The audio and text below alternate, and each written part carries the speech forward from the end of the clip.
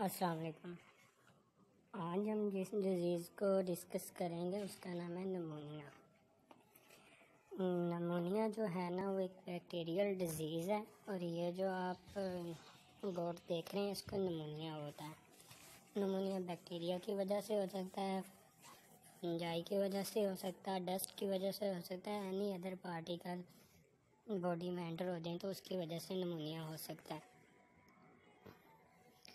और बाकी जो जो काजेज़ हो सकती हैं, वो वीडियो में स्क्रीन पे आप देख सकते हैं। और इस जानवर को नमूनिया हुआ हुआ। और नमूनिया के जो मेन साइन एंड सिम्टम आपको नज़र आएँगे किसी भी जानवर में, आप कैसे बताएँगे कि इस जानवर को कौन सी बीमारी है? वो एंड साइन एंड सिम्टम में सबसे पहले आ जाता है, जानवर ढीला पड़ जाएगा।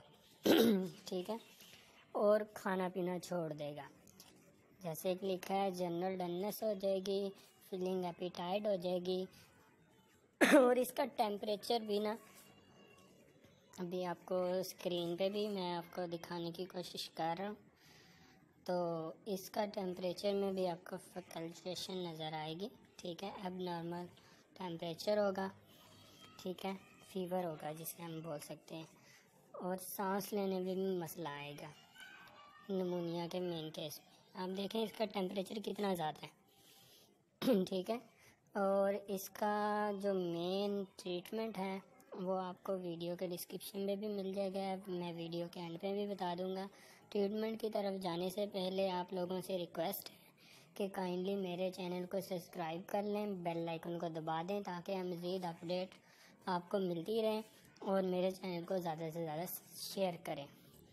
और इसकी पहले कंट्रोल में आ जाते हैं। इसकी प्रॉपर हाउसिंग की जाए, ठीक है। वेंटिलेशन अच्छी रखी जाए सैनिटेशन अच्छी होनी चाहिए और एंटीबायोटिक्स आप यूज़ कर सकते हैं डिज़ीज़ में। ठीक है। इसके अलावा हम, हमारा फेसबुक पे भी सेम नाम फॉर पाई वेटरनरी कम्प्लेक्स के नाम से पेज है और इंस्टाग्राम पे भी। आप हमें वहाँ पे भी फॉलो कर सकते हैं। इसके अलावा हमारी हेल्पलाइन पे आप किसी भी टाइम मैसेज या कॉल करके आप किसी भी डिज़ीज़ के बारे में, उसके ट्रीटमेंट के बारे में कोई भी इन्फॉर्मेशन ले सकते हैं। Thank you